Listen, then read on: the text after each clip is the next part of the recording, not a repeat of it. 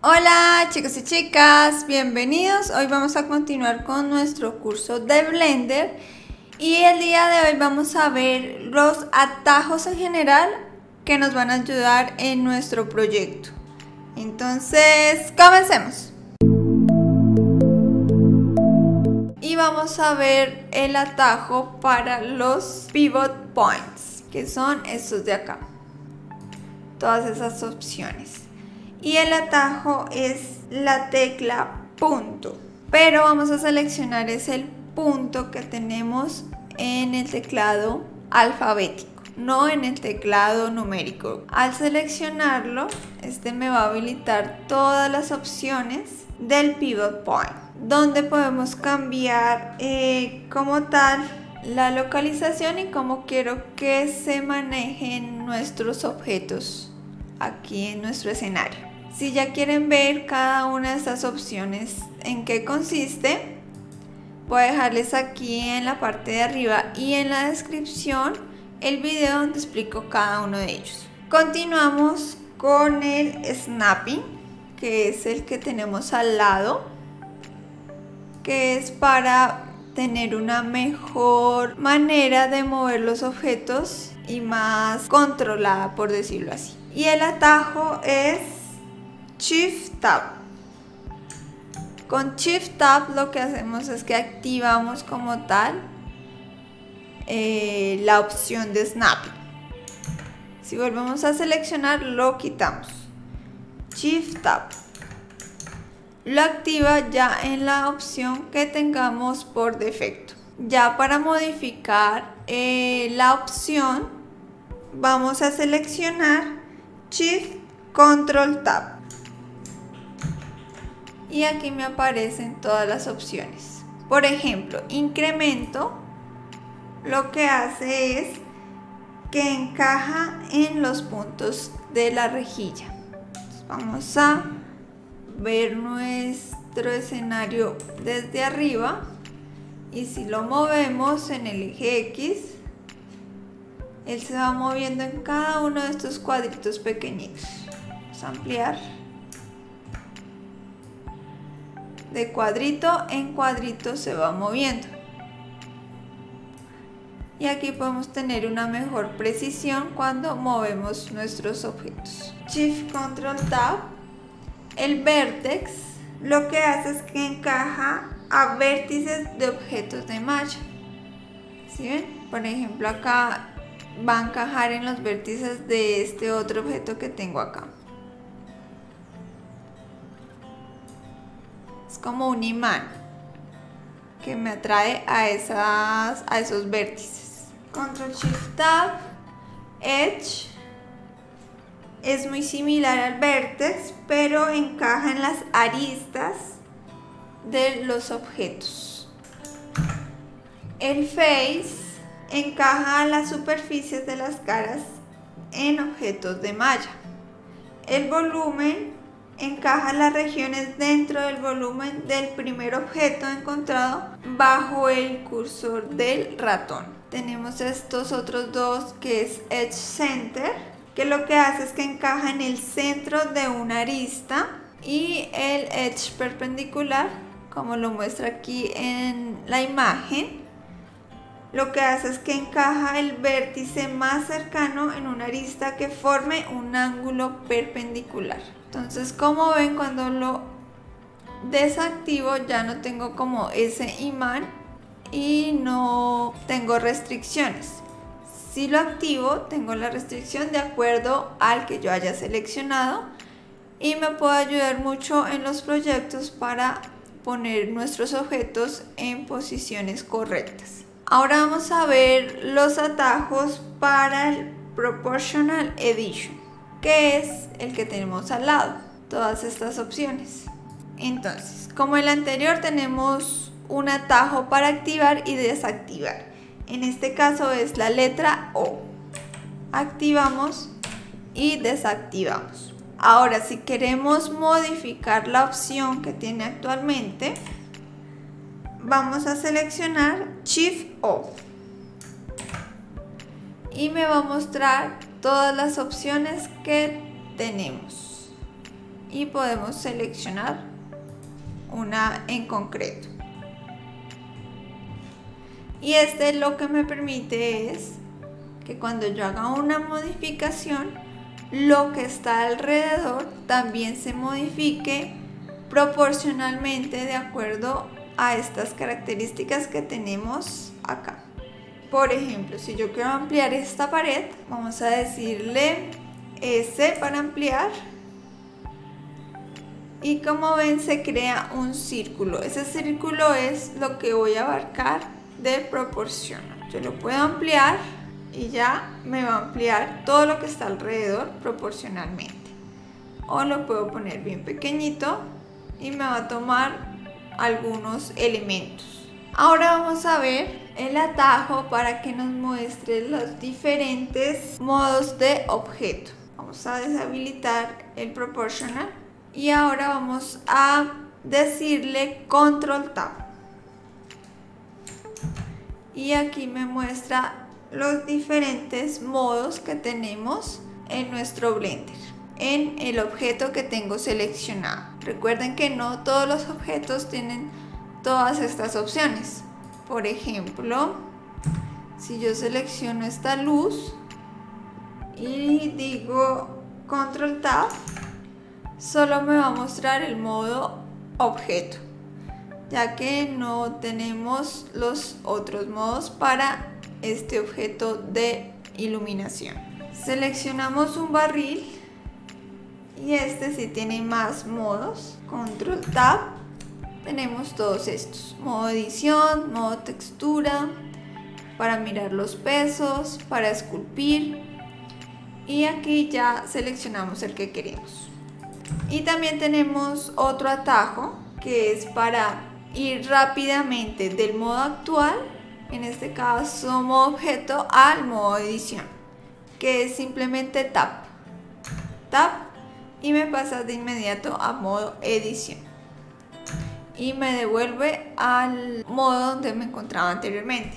Por ejemplo si yo estoy en esculpir y le digo tap voy a modo edición. Y vuelvo a seleccionar tap me devuelve al modo anterior que en este caso es esculpir. De esta forma es mucho más sencillo eh, trabajar nuestros modos. Vamos a repasar eh, un poco los atajos de transformación. Entonces rápidamente tenemos aquí nuestro barril y lo queremos mover con los atajos. Vamos a quitar acá las flechitas. Lo que hacemos es con G y aquí ya podemos mover nuestro objeto. Pero si queremos decirle un eje en específico, lo seleccionamos, Z. Ahora, si queremos decirle algo específico, es decir, eh, una unidad, pongo 1, 2, ya serían 12. Vamos a quitar el 1 y ponemos 3. Y como ven, aquí en la parte superior izquierda, en toda la esquinita me va poniendo lo que yo le voy indicando. Por ejemplo, aquí está diciendo que lo ha movido 3M. Si lo quiero mover menos, entonces elimino el 3 y pongo 2. Y también podemos poner funciones matemáticas, por ejemplo, decirle 2 menos 3. Por lo tanto, queda más abajito. Vamos a eliminar el 2 menos 3 y vamos a decirle 2 por 3, que serían 6 metros. Y podemos poner eh, ecuaciones más complejas y el sistema ya me lo pone en la posición. ¿Listo? Ahora, para rotar. Para rotar es con R y aquí ya podemos rotar. Si lo queremos rotar igualmente que en el anterior en algún eje en específico, Z, ya solo se va a mover en Z. Y ahora sí queremos ponerle algún grado en específico que me lo rote 90 grados lo seleccionamos y ya me lo rota. Ahora, para verlo mejor, en Z pues no se va a ver mucho el cambio, Vamos a decirle RNX 90 o 180, que sería toda la vuelta, o 45. ¿Listo? E igualmente podemos colocar alguna operación. Aquí en la parte de arriba me va saliendo cada cosa que voy tecleando. Por ejemplo, 90 grados menos 12 sería 78 grados en X. E igual pasa con el de escala. S, aquí ya podemos ampliar. También podemos decirle que solo me amplíe en algún eje, X o Y o Z. Y también le puedo poner alguna cifra, que me lo amplíe un punto o 12 puntos. Ahora, también tenemos otro atajo para eliminar un eje. ¿Qué quiere decir? Que si yo amplío S pero yo no lo quiero ampliar en Z, sino que solamente en X y Y. Entonces vamos a decirle Shift Z. Y como ven, solo me lo amplía en el eje X y Y. O sea, yo le indico qué eje es el que no quiero que aparezca. Por eso le dije Shift Z. Si yo le digo Shift X, en X no me lo va a ampliar. Así con cada uno de los ejes. Y pasa igual si lo quiero mover, si lo quiero rotar. Igual pasa en mover. Yo puedo bloquear algún eje para que no se mueva en ese eje. También hay otro atajo para poder modificar la transformación de nuestro objeto. Y ese atajo es al y lo que quiero transformar. Entonces vamos a verlo aquí. La localización de nuestro objeto. Como ven, la localización en X es 1.2, en Y 6.5 y en Z es 0.6. Si yo quiero mover mi objeto a una localización 0, voy a decirle Alt G. Y como ven aquí en localización todo se me puso en 0 y el barril se puso aquí en la parte inicial. Igual pasa en la rotación. Aquí tiene una rotación en Z de 5.33 grados. Si yo le digo Alt R, como ven todo se puso en 0. Y la escala, vamos a escalarlo. Vamos a dejarlo nuevamente como estaba. Vamos a decirle Alt S. Y como ven, otra vez tengo todo en 1. Y como les mencioné anteriormente, también podemos mover nuestros objetos local sin necesidad de cambiarlo aquí arriba en las transformaciones. Vamos a moverlo. Vamos a repasarlo nuevamente. Entonces G en Z, que es el global, pero si vuelvo a decir Z, me pone el local. Y aquí terminamos nuestro repaso, transformar nuestro objeto con estos atajos. Seguimos con los atajos de selección. Si quiero seleccionar todo el proyecto, es simplemente decirle A. Y tengo seleccionado todos los elementos. Si quiero deseleccionar, voy a seleccionar doble A, A, A, o vuelvo a seleccionar y hay otra forma de, seleccionar que es Alt A. Con esos dos comandos podemos deseleccionar. Los otros modos son B y seleccionamos.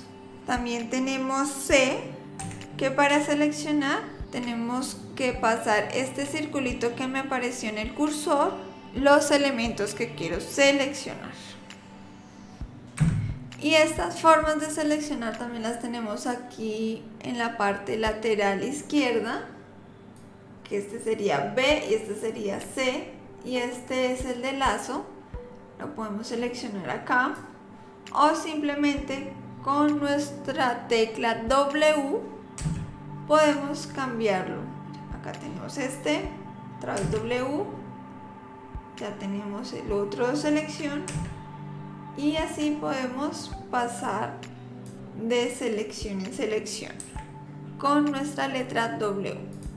También tenemos otro atajo, Entonces tenemos seleccionada una parte, con control I seleccionamos lo contrario y podemos volverlo a hacer, control I. Estos son como los atajos más comunes para la selección. Ahora vamos a continuar con el atajo para ver la parte de viewport, que serían las formas de ver nuestro proyecto o nuestro objeto. Tenemos estos diferentes modos de ver. Y el atajo es con nuestra tecla Z.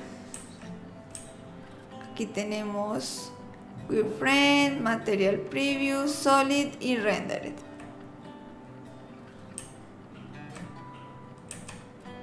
Ahora vamos a ver el atajo para ordenar nuestros elementos y ponerlos en colecciones. Aquí en nuestro editor, donde vemos todos nuestros elementos, podemos organizarlos. Y digamos que creamos muchos elementos, vamos a crear un cubo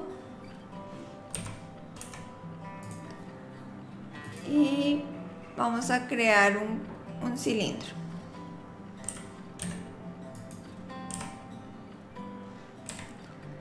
Tenemos varios elementos que acabamos de crear, pero yo estos elementos los quiero poner en una colección diferente.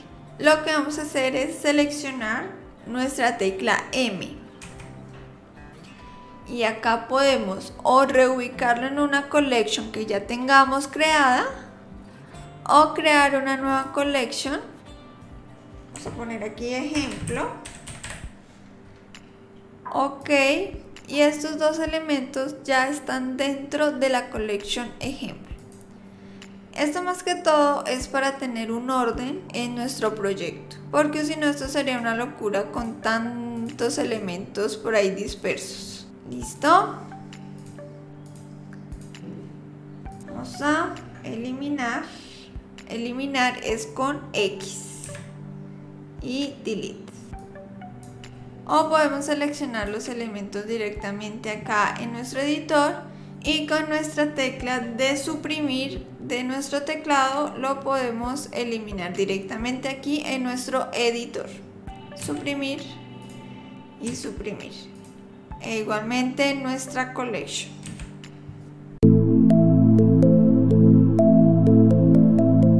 También vamos a recordar que para unir dos objetos, digamos un cubo